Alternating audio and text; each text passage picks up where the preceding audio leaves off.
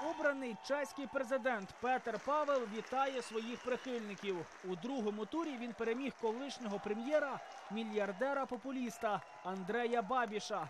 Явка була рекордною 70%. Розумím і тому, що Я розумію, що дехто розчарований через те, що їхній улюблений кандидат не переміг. Але я також бачу, що в цій країні немає виборців переможців чи тих, хто програв. Я бачу, що на цих виборах перемогли цінності, такі цінності, як правда, гідність, повага і смирення. 61-річний Павел усе своє життя присвятив армії і лише кілька років тому пішов у політику. Свого часу очолював генштаб Чехії, а також став першим представником посткомуністичної країни на чолі військового комітету НАТО. Упродовж передвиборчої кампанії декларував, Росія повинна програти війну. Тож Україні потрібно надавати зброю і по тому прийняти до північно-атлантичного альянсу. Я переконаний, що Чеська Республіка досить багато зробила для України від початку війни, і вона зробила все, що могла.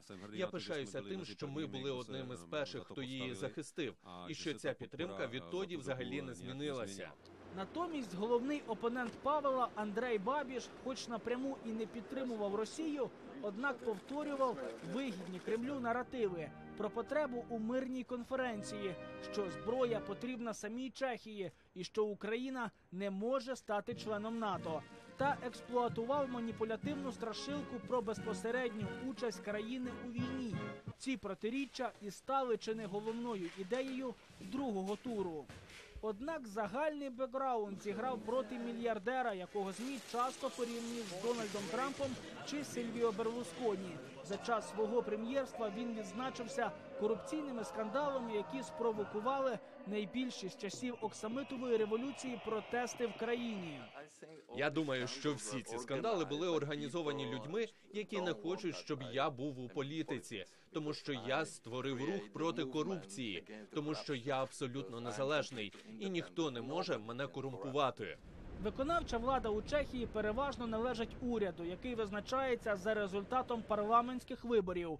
При цьому президент все одно залишається досить помітною фігурою.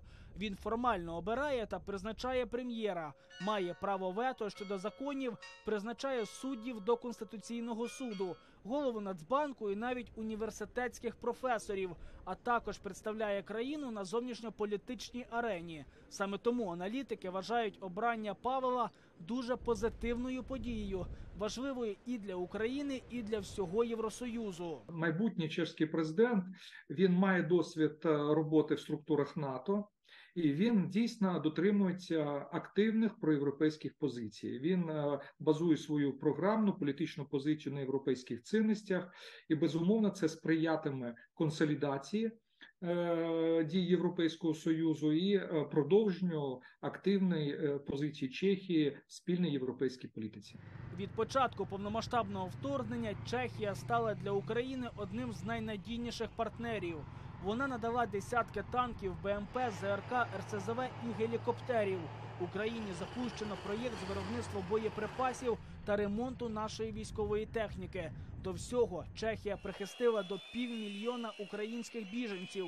І президентство Павела означає, що згортання такої політики точно не відбудеться.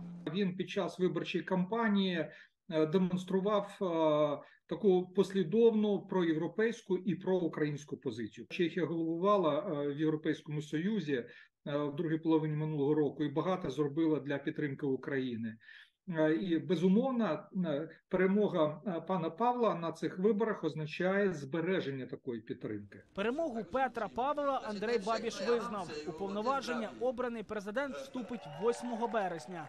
На посаді голови держави він змінить Мілоша Земана.